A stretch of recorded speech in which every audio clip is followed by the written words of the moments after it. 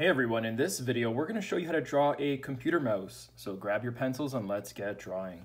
So first things first, we're going to go through everything in detail and I might speed up parts of the video just to speed things along. Um, we'll do a generic shape of the mouse, kind of what we call a traditional mouse. Um, I guess corded or uncorded, it doesn't matter, but essentially the mouse is kind of this shape right here. So you're kind of kind of curve back and then you'll go down um, over here, you'll kind of go forward a bit and then you'll curve ahead. So you'll kind of curve down like this, right? And you'll kind of curve back. This part over here will probably come up and down, right? And then down below, it's more of a flat surface because this is on the, the mouse pad or whatever you want to call it. Or sometimes you don't use a mouse pad, you just put it on the desk. So this part is relatively flat and it kind of goes up. Over here might come and curve down like this. And this might go a little wider actually. So yeah, I'll just take you through this process. Um, right away, I think this could be a little higher. So if you if you're drawing along and you kind of did that a little too short, you can just go up and back down. And remember, like you you are going to have a higher spot at the back because the hand would be over here, the palm, and the fingers over here.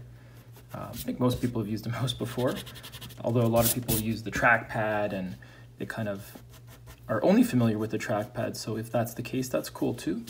But just keep this in mind for um, the mouse. Over here, let's just say we'll call it a traditional mouse. It's kind of this old school corded mouse. I think a lot of people use the optical cords now.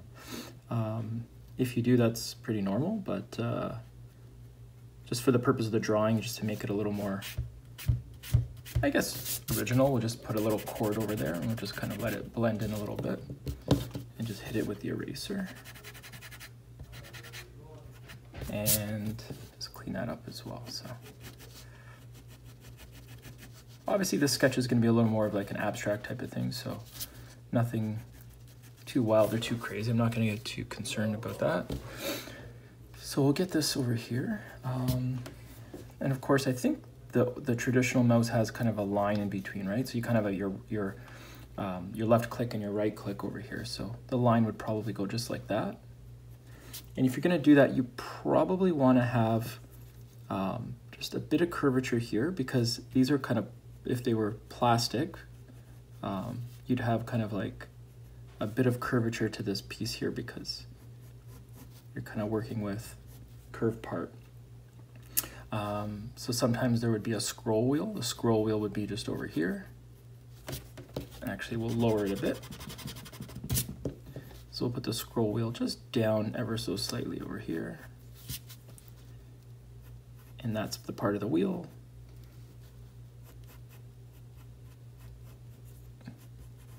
So kind of do that, right? And then the other part of the clicks will probably go just behind, right? So we'll kind of go over there and I think I drew this already, this kind of comes over here. So I think what I'll do is I'll speed this part up, just kind of clean it up, just kind of show you as we go through it. So stay along, I'll be right back.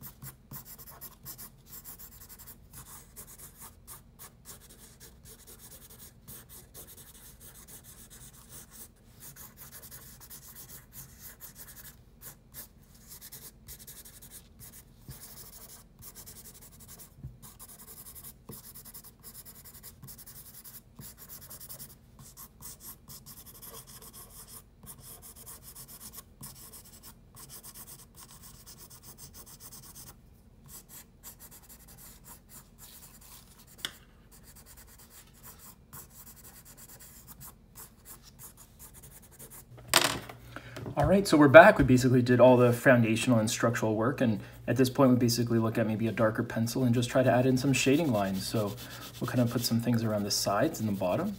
Um, what you might want to do is try to have your lines kind of curve up as well, because obviously this is a 3D item, so we want to maybe show like there is some elements of, of uh, you know, the side of this mouse kind of rising up as well. So you might want to go darker over here. You might want to put on some curvature lines.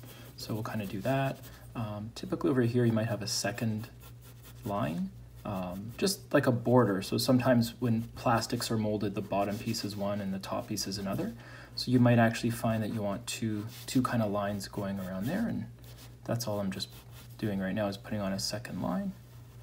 So just kind of quickly just put that on over there. Now if you're gonna do that, you might wanna really darken up the side, right? You might wanna really darken up the, the side. Maybe the lighting is coming from over here. So you might wanna just, you know, very quickly just kind of add some shading and tone at the bottom. And then a lot of the, the lighter sheen is at the top. I mean, every mouse is different. This is just a computer mouse. It's, it's, uh, it's not scientific by any means in terms of drawing it, but um, yeah, this is just how we're gonna do it. So what I'll do is I'll clean up around some of the sides. So this part, like I said, is usually, usually flat because it's on the mouse pad or desk. And this part over here is higher because your palm is over here and the fingers are down at the bottom. So um, yeah, we'll basically go back to the 5B and just kind of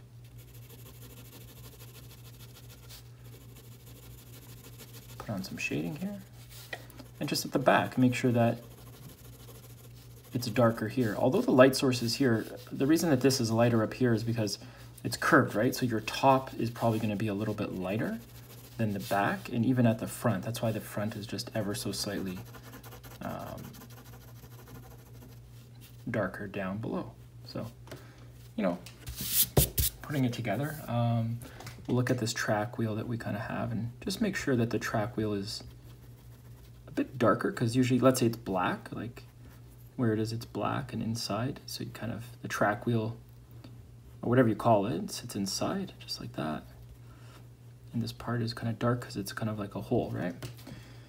Um, the line between the, the two buttons, you might want to make sure that it's dark enough to really um, show those two, those two buttons are separated.